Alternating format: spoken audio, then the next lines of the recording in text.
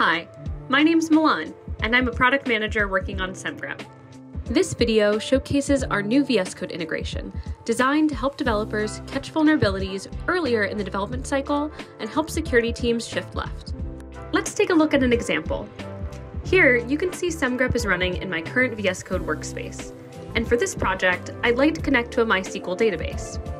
And say I'd like to add this line, but accidentally add a hard-coded secret into our project.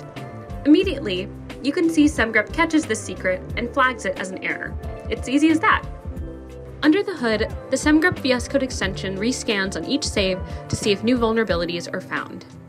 The VS Code extension also works with SEMGREP supply chain. I'm importing the Lodash library here, and decide I want to use the merge function. But I don't realize I'm using merge in an unsafe way. I'm on an older version of the library, where someone can insert a malicious object here. SEMGREP flags this as a finding, and recommends I upgrade my version before using this function. And if you're starting a new project or just want to get a quick health check, I can also use the command palette to run a scan across the entire workspace to see all of SEMGREP's findings at once. It's pretty powerful. If you're looking to use this at scale, log into SEMGREP Cloud Platform. By default, each scan will pull from your rule board and run using your organization's custom rules and all of our pro rules.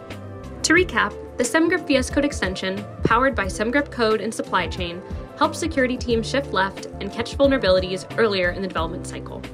To try the SEMGREP VS Code extension today, download it for free on the VS Code extension marketplace.